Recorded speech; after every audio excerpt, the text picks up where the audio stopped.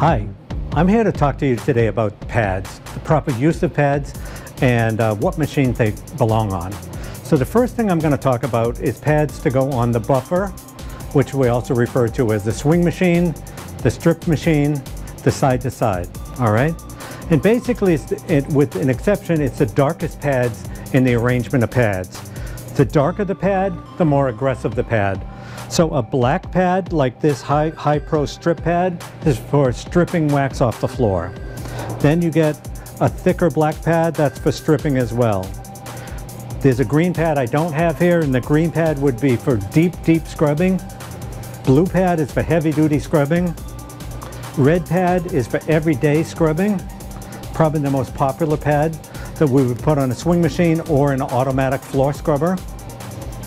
The white pad, this pad almost has no proper use today because people generally don't spray buff anymore. There's always new pad innovations coming. This pad is called the Clean and Shine and you can see it's a bright yellow on the inside and it's sort of a dark mustard on the outside. And this pad would go on a buffer or would go on an automatic floor scrubber and you would wash the floor with this and while you're washing the floor it shines the floor up a little bit. It kind of reduces how often you have to burnish a floor. Kind of an exciting pad. New innovation from 3M. On the other side, what I want to continue on with is burnishers. The burnishers are all of these pads. And if we start at this end, we've got a couple pads here with hair in them. You notice some hair. Uh, this pad, you, you can't feel it. Gary, can you feel this? so this is hard. This is a little softer.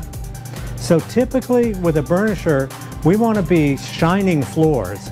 And there are many different types of finish. So all these different pads have an application based on how hard or soft the finish is. Typically a really hard pad on a really hard finish is not going to be as effective as a softer pad on that really hard finish because the soft pad will stick to it a little better for that to get that um, care. The next burnisher pad down would be an aqua pad. This is kind of an all-purpose pad. It does very, very well on a wide variety of floors. Other pads might do a little better on some floors. Next pad would be a tan pad.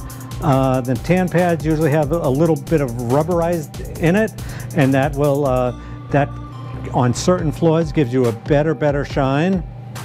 So this is a very soft burnishing pad, but it's balanced and it's designed actually to burnish at those high speeds. This is called Sky Blue. Uh, different manufacturers have different light blue ones, but basically they sort of will mirror the result the customer got with that white pad. So that's very popular. Then the final burnishing pad I want to talk about would be the eraser pad from 3M, or the bubblegum pad, all right? And we have a lot of customers who have school systems maybe, or army bases, or military, where you get a bunch of black scuffs on the, on the floor. This eraser pad is really designed and does an excellent job at taking the black marks off the floor as you shine it up.